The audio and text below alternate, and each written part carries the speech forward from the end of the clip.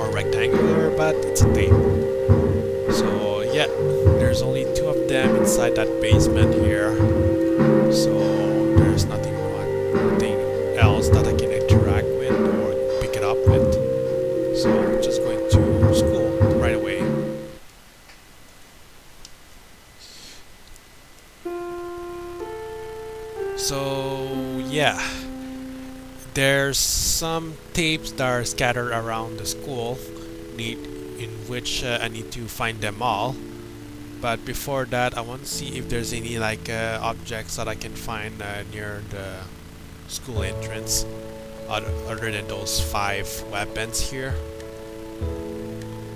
Uh, okay, so yeah, I guess I'm going to start right there uh, not really going to interact with this student here because uh, it's not my purpose today.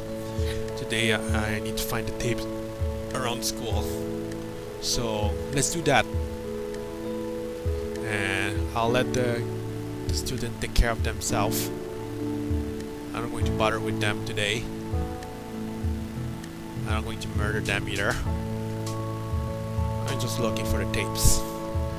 So yeah, the last time uh, I said that uh, the trick uh, to find like uh, the tips that uh, usually like uh, if you look at the ground, if there's some small like pixel that are shown like that are different like comparing to the green like grass surface, while it's a tape sometimes there's magazine too, but uh, most of the time there's tapes that are scattered around the, the area here. I just have to take a look of the dark pixel and I will be able to figure out that there there's a tape or a magazine right there. There's a magazine right there actually.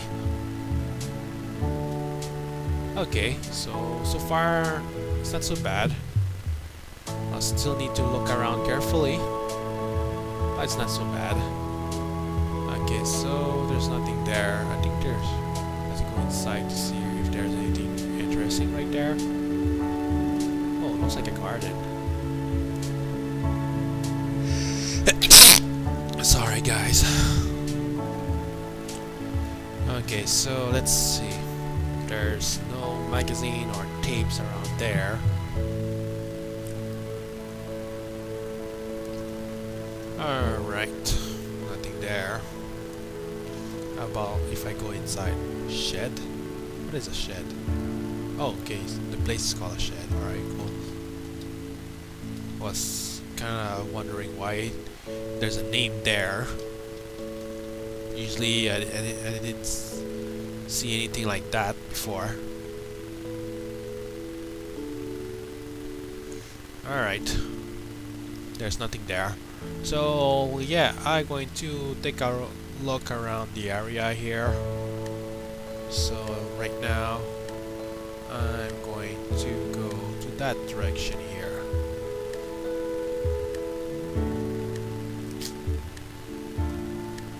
Oh, there's some dark pixel right there. I think it's a tape. Oh, it is. Cool. Alright, let's pick it up. Okay, so there's some object right there.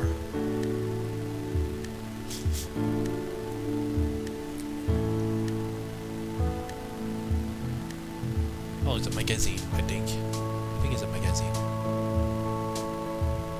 Alright, let's pick it up. The magazine. Come on. Okay, so I'll take a look around here to see if there. Oh, there's a dark pixel right there. I can see something. I can see something here. Oh, it's a tape. Alright, cool. Alright, so far I'm doing good. So, there's nothing around there.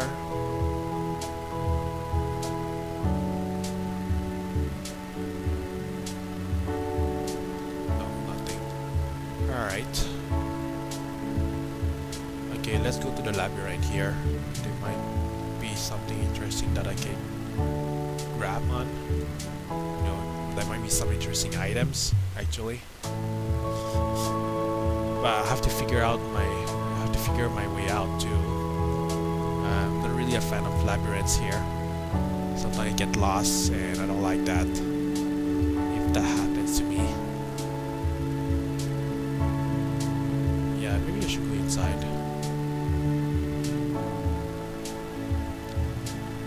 So let's go inside. Alright. Oh, I'm trapped in a corner here. Oh, there's a magazine right there. Alright, cool.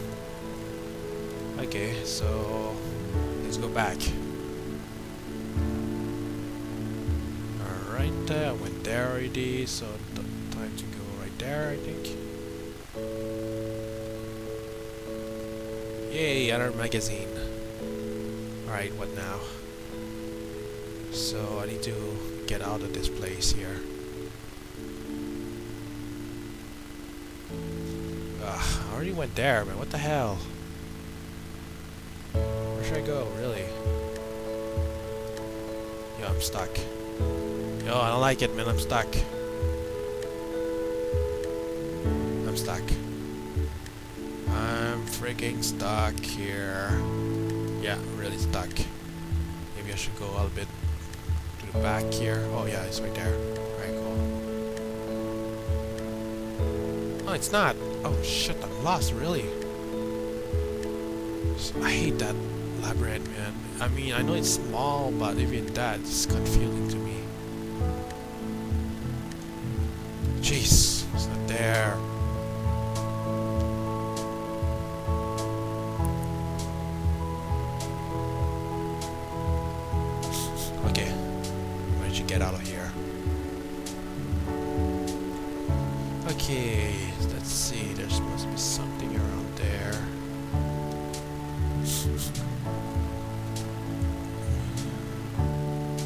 there's a magazine right there.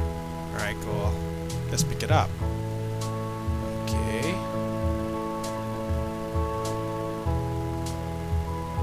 There's must be another magazine right there. Yep. Okay, so I think I got everything here. I think. So now I need to get out of here. Oh, there's a magazine right there. I already managed to pick it up like five magazine already. I don't think there's any more of that. Actually. Yo, there's some glitch here, man. I hate that. Okay, well, I guess I have to get out of here, man. I already went, like, through this, man. I'm not willing to stay here any longer. So let's go back. Can I go back?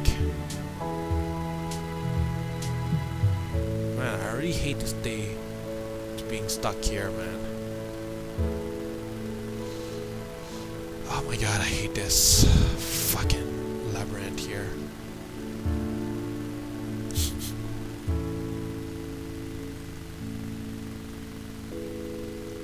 No, I'm still getting stuck. Fucking shit. I'm still getting stuck here.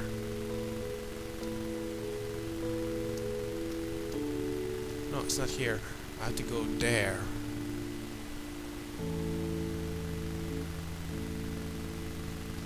Okay, that's the exit. Alright, cool. Finally. Took me a while, man.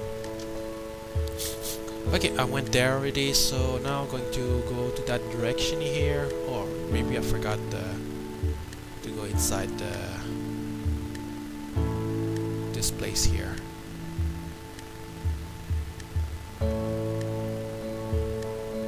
The sauna. Alright, cool. Uh, there might be some stuff around there. I'm just going to look around just to make sure that uh, I might find something interesting. Oh, this is mostly for, you know, swimming suit here or gym suit. Hey, I cannot see anything. Alright, there's nothing that can interact in those lockers.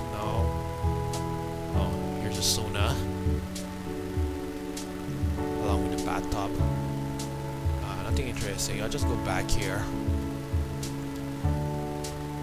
Alright. So let's see, I'll go there. I'll just go going to the corners first, to the sides first, before like getting inside the, the tracks. Man, I have to do things very quick, man, because it's already like uh, 8 a.m. in the morning.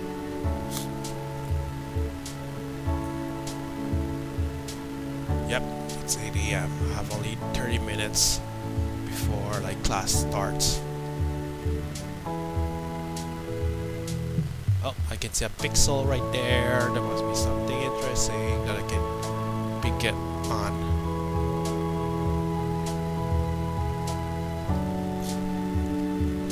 Alright, cool. I'll pick up this tape here. Is there any other stuff? Oh, there's a magazine right there.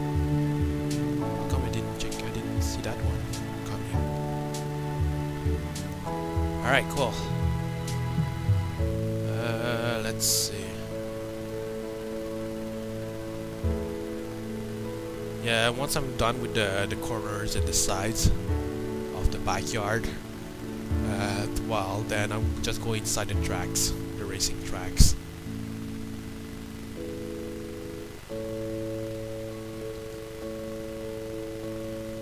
Is a good way for me to figure out like which way that, that I already went through.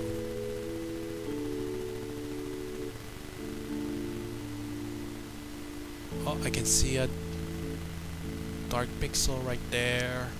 Right there. Oh, there's two items I can, I can see right now. In grass.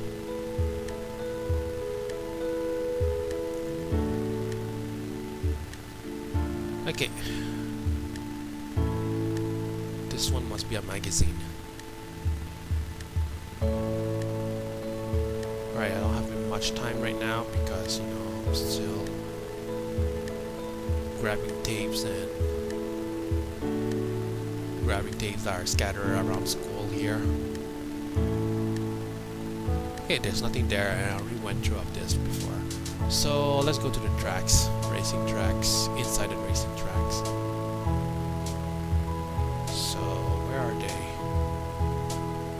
See a pixel right there.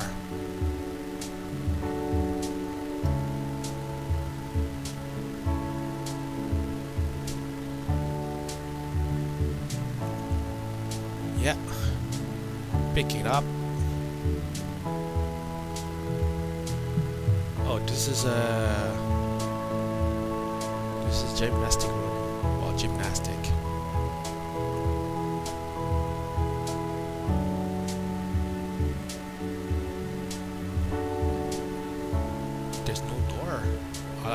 look like I can go through of this, man. Yeah, it, really seems that I can go through of this. Uh, yeah, I think I'm going to start running out of time. Well, not for the videos, but uh, you know, because I have to go back to class very soon. Yay! I can go through of this gym here.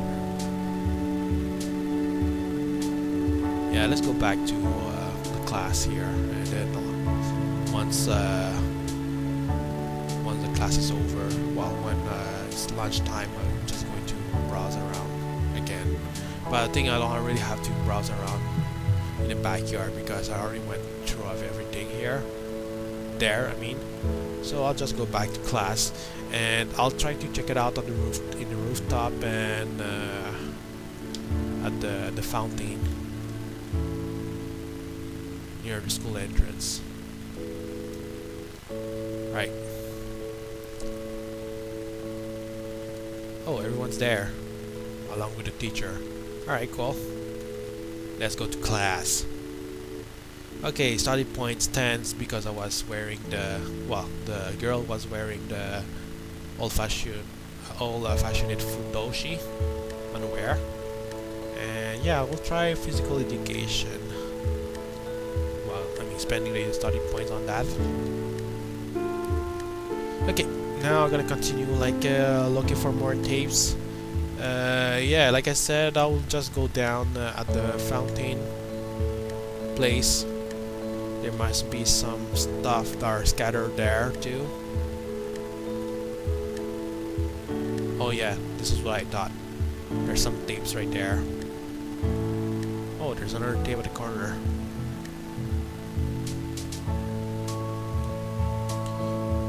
Right, there's another tape in that corner as well. Let me guess, there's another tape at the, uh, the other corner as well. Oh wow there's actually four of them at the corner. But otherwise, uh, just take a look around carefully. There's nothing else that I can pick it up, that I, pick, I can pick it on. So I'll, I'll go to the rooftop right now.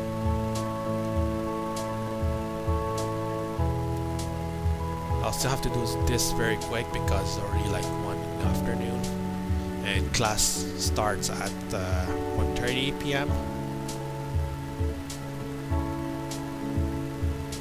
Okay, so I'll go like uh, anti-clockwise, which means I start like uh, to the right and then I go to the left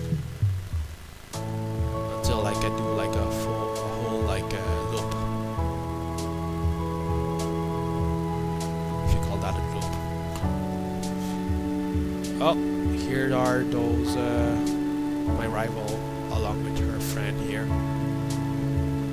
Uh, I don't have to, you know, like pay attention to what they're going to say because I already went through of this before. So let's see. Why there's nothing there, man? Oh, there it is. It's a magazine.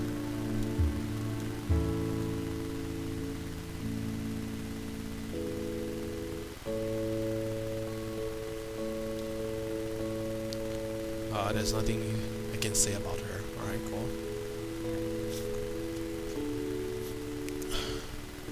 Alright. Oh, another magazine right there. Alright, cool.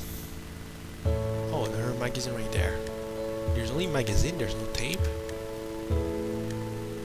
I think I managed to pick uh, them all, man. I mean, that's all the three big places I can go right now.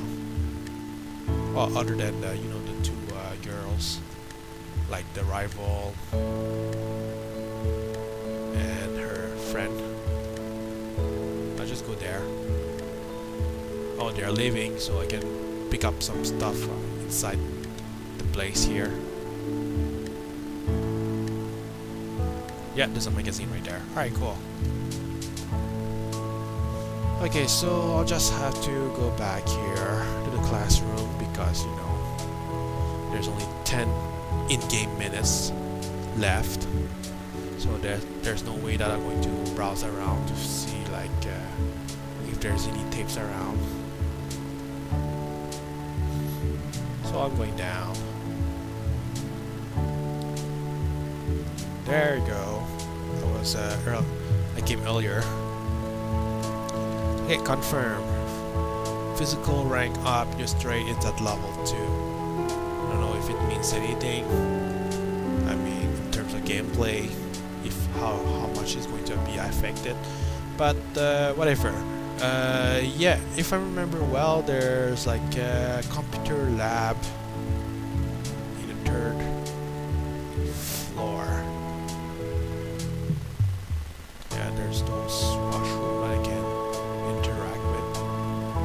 with. Saki Miyu right there. I don't know where she, she's going right now. I think there's something right there. It is? Oh, I can interact with this thing. Use a tape.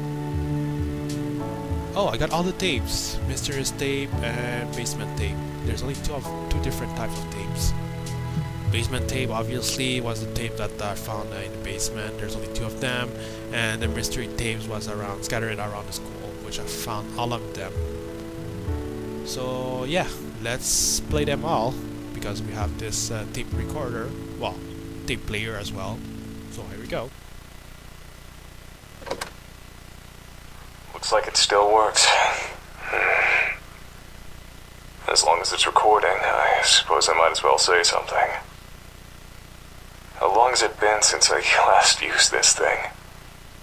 It's been at least two decades. Almost three. Those were better times. I was so young back then. My future seemed so bright. I remember following my dreams. I remember a promising career. I remember being happy. If I could turn back time, what would I do differently? I know. I know exactly what I should have done. I shouldn't have gotten involved with that case. With that girl. Pursuing her was the right thing to do. But if I hadn't involved myself with her, I'd still have a career. When did it begin? I think it was April of 1989. The peak of my career as an investigative journalist. That's when I heard about a murder at the local high school. The police had no leads. I decided to investigate it myself. I tried to be a hero. And that was the worst mistake of my life. Okay, so the murder thing that happens in this school, uh, he has a history as well. But if there's so many murders that happen in the school, why they don't close the whole school? I mean, I don't think people would like to go to school where there's so many murders like that, you know? Oh well, I'll go to mystery tapes too. Mysterious tape. The school's faculty didn't let me conduct an investigation on school grounds. Highly concerned with maintaining their prestigious reputation. They didn't want any police or journalists snooping around and ruining the school's image any more than the murder already had. Or maybe they just had something to hide and didn't want the authorities to find out. To this day, I still don't know how the school managed to convince the police that any crime that takes place on school grounds can only be investigated for six hours maximum. I heard a rumor that the school's headmaster bribes the police department to expedite their investigations as much as possible. There are a lot of unsavory rumors about the school's headmaster, but none of them proven to be true. Because I couldn't work around the school, I used to gather information by interviewing students outside of the school gate when they entered or left the school.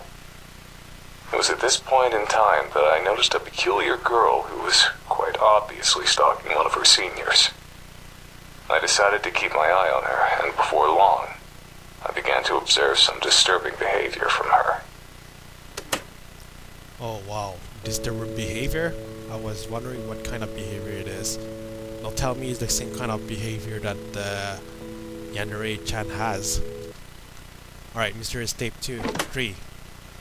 From the school gate, I witnessed the girl do more than just stalk an upperclassman. She stalked any girl who spoke to him. Through student interviews, I kept tabs on what happened to those girls. They became the victims of bullying, were expelled, and in some cases, stopped coming to school.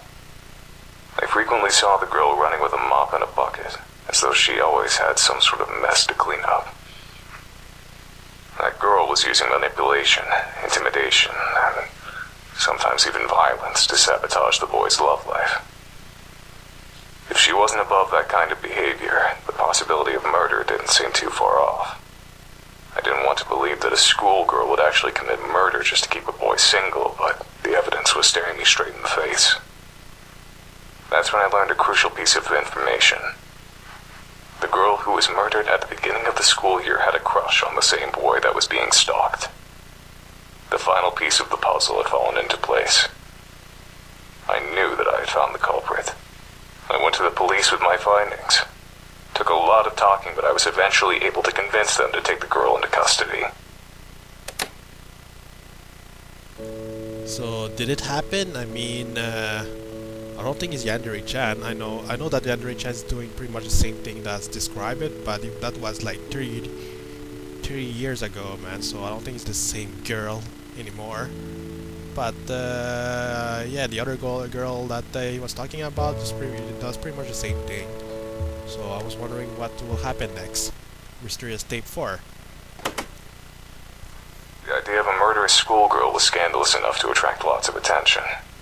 Word of her arrest quickly spread across the entire nation. The trial turned into a media circus. I became a celebrity practically overnight. I didn't want to be a public figure, but I did want my investigative skill to be recognized. I hoped that all the attention would boost my career. As it turns out, I was dead wrong. That manipulative little schoolgirl put on the best act I've ever seen. She cried nonstop, feigned ignorance at every opportunity, and had an excuse for every accusation leveled at her. The court fell in love with her, the media fell in love with her, the entire damn nation fell in love with her. She called me a dirty pervert who enjoyed leering at schoolgirls. She called me a fame seeking yellow journalist. She claimed that I only accused her of murder for sensational headlines. The court bought every word of it.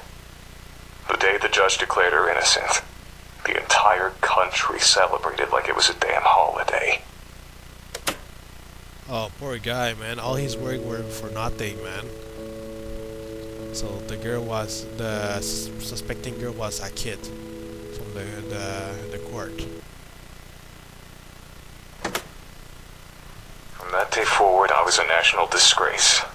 I was known across the country as a lecherous journalist who stalked schoolgirls and tried to throw a girl in prison to boost his own career. I saw disgust in the eyes of every person who looked at me. My house and my car were vandalized every day for weeks. Needless to say, I was never able to work as a journalist again. The police department that arrested the girl was also the subject of national criticism. Accused of being incompetent fools who would arrest anyone without sufficient evidence. Ever since then, the police in that town have been extremely lenient in an attempt to repair their reputation and don't want to go anywhere near the local high school except for extremely brief periods of time. But the worst part of the entire experience didn't come from the media or the public. Immediately after the trial, I tried to escape the press by hiding in an alley behind the courthouse. Only one person found me there. It wasn't a journalist or a reporter. It was the girl that had just been declared innocent. I'll never forget her face that day. She was smiling, but her eyes were blank, empty, soulless, like a doll's eyes. She looked like she didn't have a single ounce of humanity in her entire body. That smiling face, she said to me, It would be very easy to make your death look like a suicide. Don't ever cross me again. She turned around and left without another word. Oh my god, man. That girl really manipulated the journalist, man. That poor journalist. At the same time, the cops, because the cops uh, want to regain their reputation because uh, they they didn't bring enough evidence uh, about the girl uh, murders, murdering actions. So yeah, she was very smart and very manip- manipulative. That evil girl. My life was a living hell for about a year while the trial was still fresh in people's minds. Eventually, the hatred subsided, but it never truly died. There was always someone who recognized me, no matter how much I tried to change my appearance.